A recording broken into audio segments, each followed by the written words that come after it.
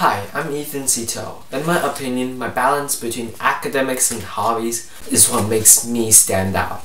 I spend my time reading, playing chess, solving Rubik's Cubes, practicing Chinese, singing, and coding with Python. I'm also in school clubs for playing the card game Magic the Gathering and also a role-playing game called Dungeons and Dragons. I am able to maintain these skills while expanding my interests by trying out new things. However, extracurriculars aren't my only priority, and I value my academics greatly.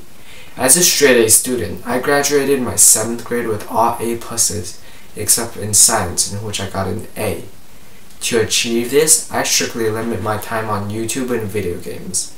I am excited to apply to Mitty's choir, speech and debate, and chess club, and hope to meet you there.